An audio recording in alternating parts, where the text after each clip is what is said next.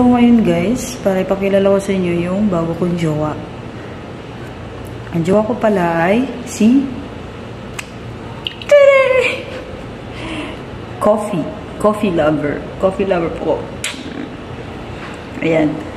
Hindi po siya mawawala sa akin. Lagi po siyang katabi.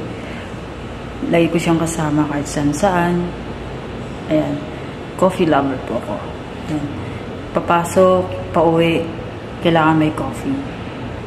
May laman.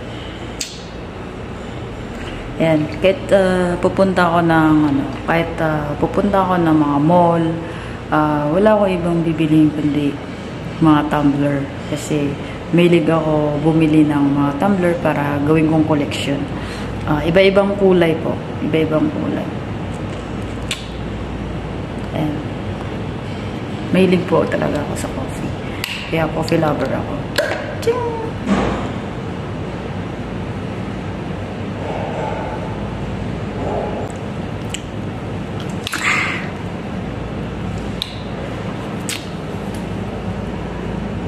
So, ayan lang guys. This is my jowa. Coffee lover.